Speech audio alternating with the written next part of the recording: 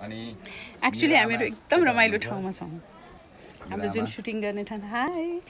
सबजना मुभी बनाइरहेछन् आफ्नो आफ्नो। म तपाईँहरूलाई एउटा रमाइलो चिज देखाउँछु। र हेर्नुहोस् यो गोठ छ यहाँ। यहाँ बाख्राहरू छन्। बोका बाख्राहरू हुनुहुन्छ।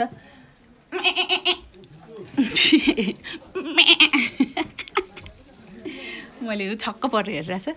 यता गौमाता हुनुहुन्छ। है। नहान्नुहोस् ल नरिसाउनुहोस् है गौमाता। यहाँ गौमाता हुनुहुन्छ। यो गोठ हो। यो हाम्रो घर यहाँ बनाएको छौँ हामीले। अनि-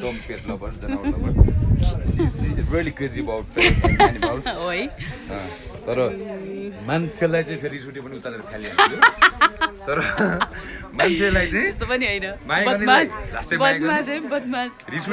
उचालेर फ्यालिहाल्ने सबै डराउँछ सेटमा सबभन्दा बढी यहाँ डराउने नै मान्छेहरू होइन?